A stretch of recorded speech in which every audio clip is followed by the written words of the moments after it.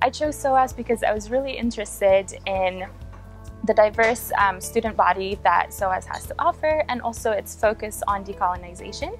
I um, was really curious to see how decolonization would manifest in the class that I'm taking, Development and Conflict. SOAS is an institute that specializes in Asia, Africa and the Middle East, hence making it the more exceptional to study my course in gender and conflict. SOAS has been an epitome of multiculturalism and diversity in the world and I think so that is the reason why I chose SOAS.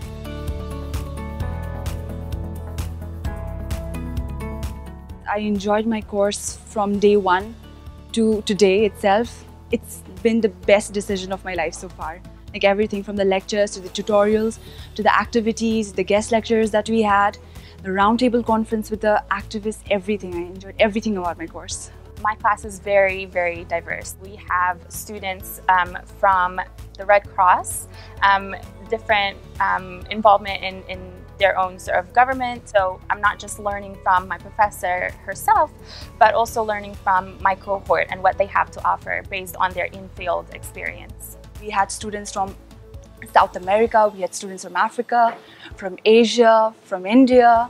So these all perspectives from each countries and so specific regions, I think so it brings a new perspective altogether and it shatters your prejudices and stereotypes about those certain areas that you already have. And so I don't think otherwise I would have gotten this experience if I were just to sort of jump into academia. So I really appreciate that there's this um, bridge between academia and um, people who have experience and, and working in the field. Development and conflict um, class went sort of deeper in, in terms of what the field has to offer. So one day we could go and talk about gender and conflict, and another day we talked about um, human security. This mix of theory and practice makes it the more exceptional and to study in an institute like SOAS, it's the best decision. I love exploring the food market. So one day I can be trying Nigerian food.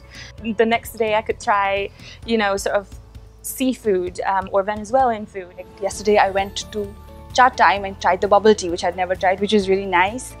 The Bloomsbury Farmers Market that it's all, always held on Thursdays, that was really interesting as well. And the second best things was visiting all the touristy places, like all the tourists that are just watching movies or read in books. It is an opportunity to meet different people, explore London, and also learn different aspects of yourself, whether you're willing or not to try new things, whether you're willing or not to be lost in London, um, and then balancing that with uh, sort of very rigorous um, academic um, aspect of what the course is offering.